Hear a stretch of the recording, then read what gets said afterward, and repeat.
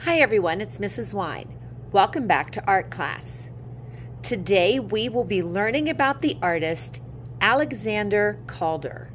And today we will be learning how to create a practice paper sculpture inspired by his work. So let's get started. When you look at this photograph of Calder's sculpture, you should notice it has some large arching pieces. That's what we're going to be practicing today. So the material that you will need is a sheet of paper, a pair of scissors, a glue stick, and you will also need a pencil and a ruler here in just a little bit. So the first thing I want to do is I want to take my sheet of paper, and this is just regular construction paper, and I'm just going to fold it in half. Remember, I line up the corners, then I press down to the center, and then out to the edges. And this is just simply because I'm going to use half of this paper as my base and half of this paper as my sculpture.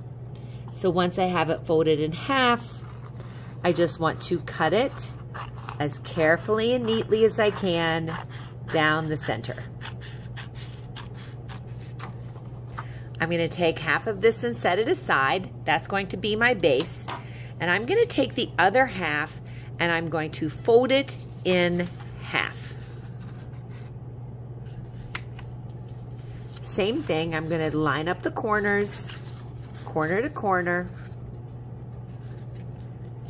And then I start by pressing in the middle and pressing it out to the edges. Okay? So once I have done that, I'm ready to start cutting and drawing some lines. So this is where I will need my ruler and my pencil. The first thing I want to think about is when I look at Calder's sculpture, I notice that it has a big curved line here. So what I want to do, and I'm going to zoom in just a little bit so you can see a little more closely, is I'm going to take just this corner and I'm just going to draw a little curve. I want to cut that corner off.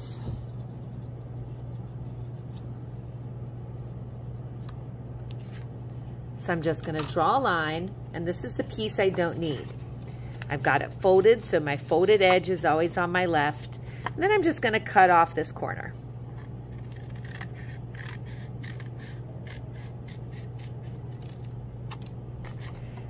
This is garbage.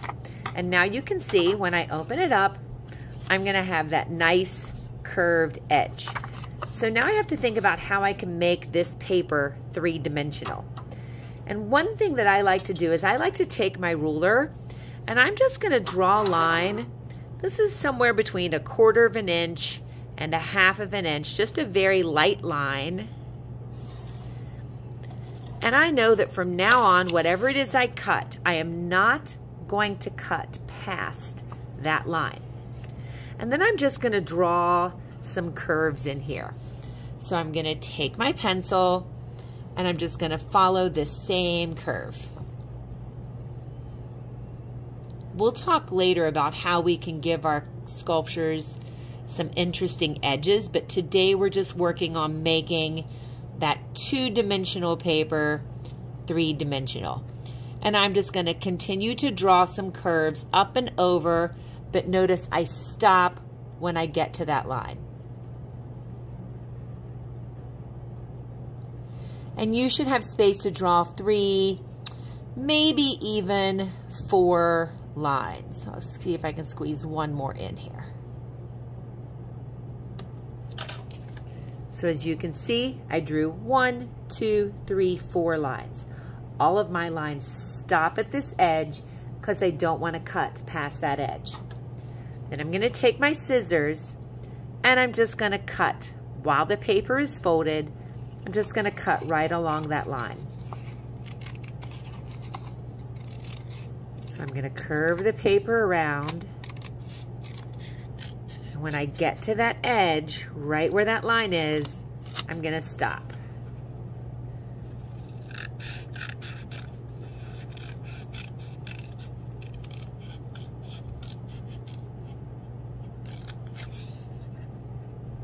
Got two more to cut. Stopping when I get to that edge. I don't want to cut it in half.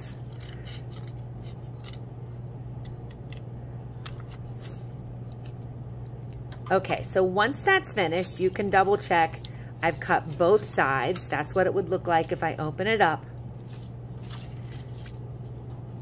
But now I'm gonna do some folds so that I can make my sculpture stand up because in order for it to be a sculpture, it needs to stand up and be three-dimensional. So the first thing I'm going to do is I'm going to take my paper, I'm gonna take just this top piece and I'm gonna fold it back right along where that edge is where I drew that line. Then I'm going to take my whole sculpture, I'm going to flip it over, and I'm going to take not the first line, but the second line. And I'm going to fold that line back.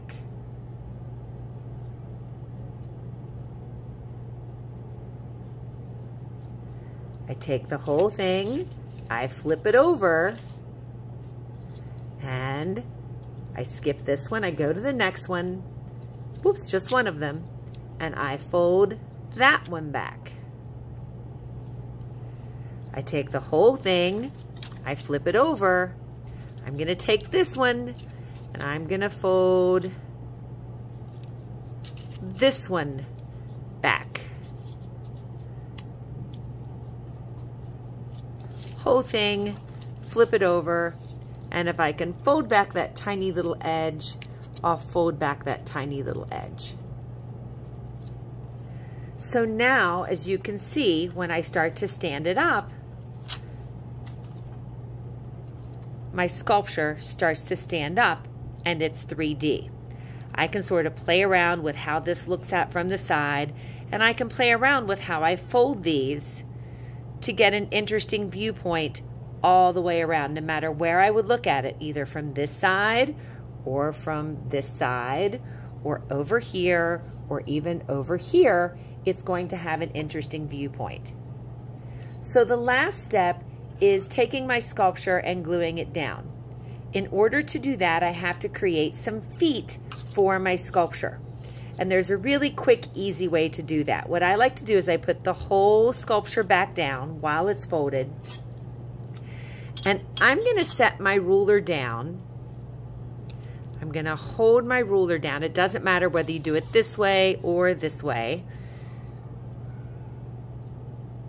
And then I'm gonna give myself little edges to glue on. And because I want them to be pretty even, I'm just gonna take each little edge and I'm just gonna fold it over the edge of that ruler.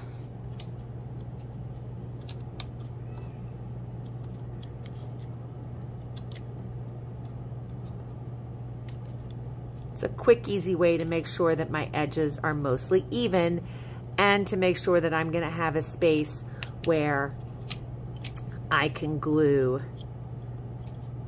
my foot. So now as you can see, when I stand my sculpture up, it has these little pieces that I'm gonna be able to glue. So once I have a viewpoint that I like, and I like it all the way around, I'm ready to start gluing. And for that, I'm just gonna take the glue stick, I'm gonna put a little bit of glue down on one of those feet, I'm gonna line it up where I wanted it and I'm gonna glue it down. It usually helps to start with your outside feet first. Once I have one done, then it's easy for me just to curve another one up. Put a little glue stick on, hold it down. My glue is pretty sticky, so you only have to hold it for a few seconds. And then I'm just going to keep going. So I'm going to keep going until I get all my feet glued down. Making sure that I like how my sculpture looks from every single different angle.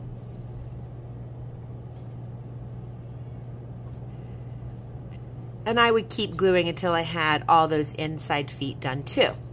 But for the sake of time, I just want to give you an idea about how this would look. So remember, I'm looking at my sculpture from all different viewpoints, and I want to make sure that each viewpoint looks interesting. If my feet start to come up, then I just take the glue stick and I'm going to come back and just start to glue them down. Remember, this week is just for practice, just so we understand how the concept of creating our sculpture works. Don't forget when you're all the way finished with the glue, you want to take the glue stick, twist it down, and put the lid on. I can't wait to see what your practice sculptures look like. I hope you had fun turning paper into a three-dimensional artwork. And until next time, keep on creating.